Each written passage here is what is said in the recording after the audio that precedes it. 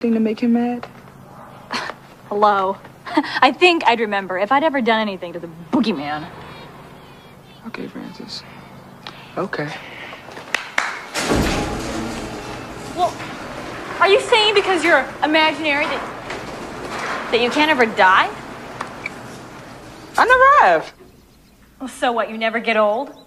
You just stay young forever, like hmm, Peter Pan? Our friends grow up. Then they don't need us anymore. So we go find new friends. Making new friends keeps you young, just like aerobics, Tae Bo, tai chi, all that good stuff. Well, then why didn't you get a new friend when Darwin stopped believing in you?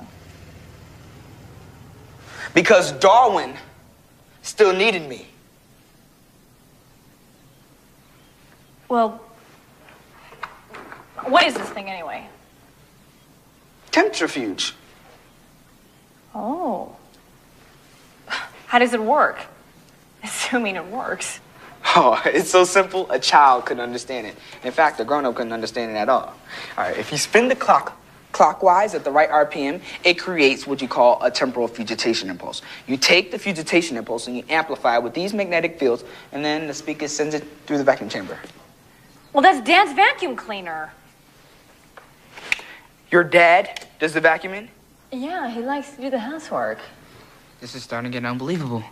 Anyways, after resonating the vacuum chamber, the impulses go through these jumper cables and right into the boogeyman. And?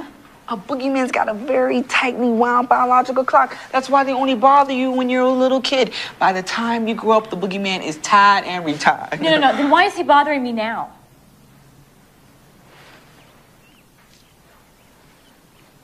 That's a very good question, Fran.